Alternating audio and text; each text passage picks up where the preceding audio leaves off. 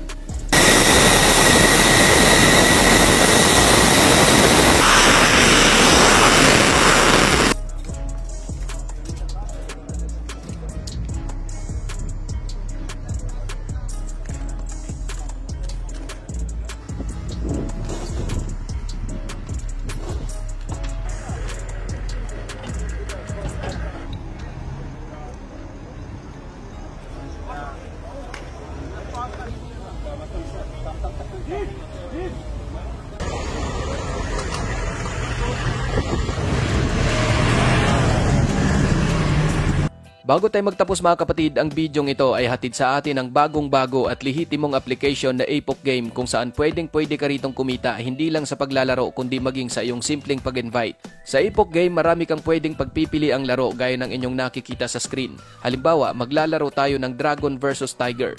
Simple lang kung paano ito laruin, pipili ka lang kung ang bet mo ay Dragon ba o Tiger. Kapag ang napili mong karakter ay mayroong mas mataas na card gaya nito, instant panalo ka kaagad. Sa pagwi-withdraw naman ng iyong kinita, madali mo itong maililipat sa iyong GCash na mayroong minimum na 300 pesos at maximum na hanggang sa 20,000 pesos. Napakasimple lang din mag-cash in gamit ang iyong GCash para makapaglaro kung saan sa una mong pag-cash in ay makakakuha ka kaagad ng bonus. Madali lang itong i-download mga kapatid, i-click mo lang ang link na makikita sa ating comment section. At para makapag-register, ilagay lamang ang iyong phone number at gumawa ng sariling password at referral na 1826363 para agad makagawa ng sariling account. Ganun lang po kasimple, kaya ano pang hinihintay mo? I-download mo na at sabay-sabay tayong maglaro at kumita sa Epoch Game. Gamble responsibly.